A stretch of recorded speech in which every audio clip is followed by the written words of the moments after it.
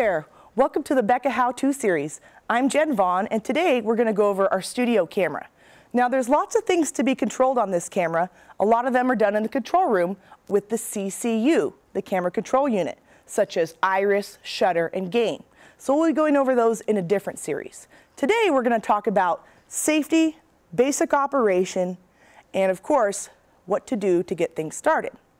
So number one, safety. Always make sure that you're wearing proper studio attire, which includes closed-toed shoes with rubbered soles. No flip-flops or high-heeled in our studio, please. Number two, make sure when you truck your camera into position that you leave a safety loop so that you don't accidentally kick your camera over when you chip on that cord. And number three, don't force it. If you experience resistance or feel resistance when you're trying to move something, don't force it. It's probably a lock that you're going to have to unlock before you get started.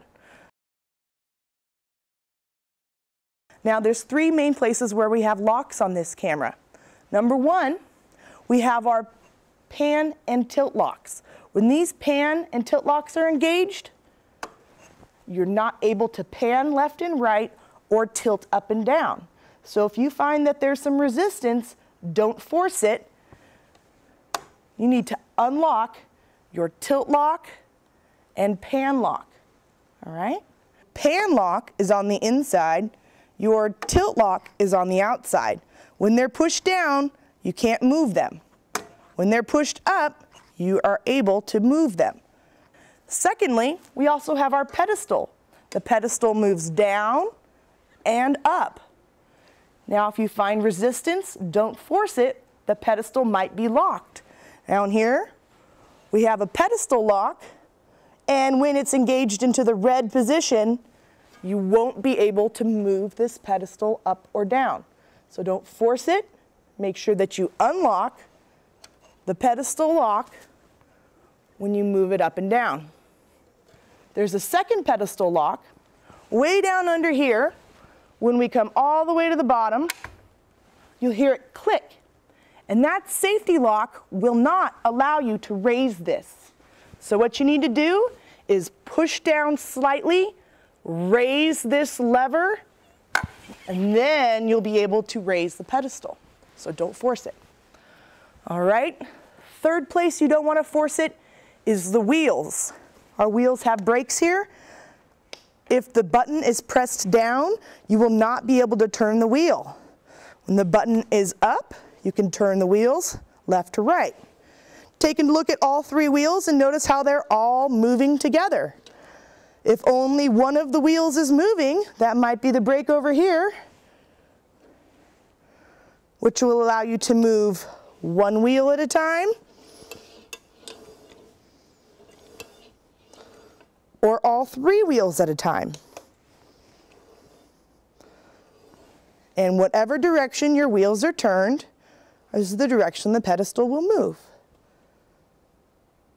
As the camera operator, you're going to be communicating with the control room using your headset. This is called a PL headset. PL stands for private line. Now you'll use your ClearCom box to communicate here and you can press this button here in order to talk to the studio. And if you press it twice, the button will stay on. Most of the time, we'll keep that button off. Right underneath here, we have our focus controls. This is our focus servo, which allows you to focus uh, further or closer away from your camera. As you use the focus servo, you'll see that the mechanism is engaged to the focus ring on the lens. This is our zoom control. Now this is pressure sensitive. The faster you press it, the faster you'll zoom. The slower you press it, the slower you'll zoom. So this is your zoom control on the right. You can also adjust your speed, fast to slow, for your zoom control. Fast zoom, focus up, fast zoom. You can also have a slower zoom, slow zoom, slow zoom. Now before you start taping, always make sure to get critical focus by zooming all the way into the eyes of your talent Make sure you have real sharp focus before you zoom out and get proper framing. Well, that's it for the basic safety operation of a studio camera. Next up, how to operate the jib.